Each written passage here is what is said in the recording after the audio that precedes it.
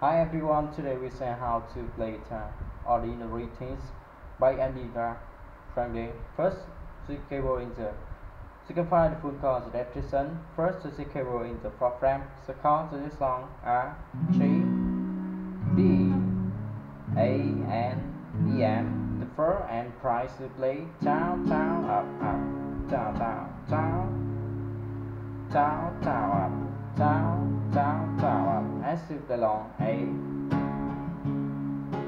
A, E, M, and D. As his drum is the same way for track to the chorus to play down, down, up, up, down, up, down, down, up, down, down, up, up, down, up, down, down, up. As the long A, eh? A,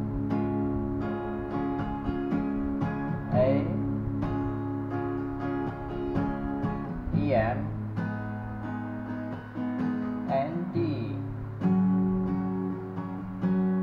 As this instrument is the same word for. Thank you for watching see you. Bye bye.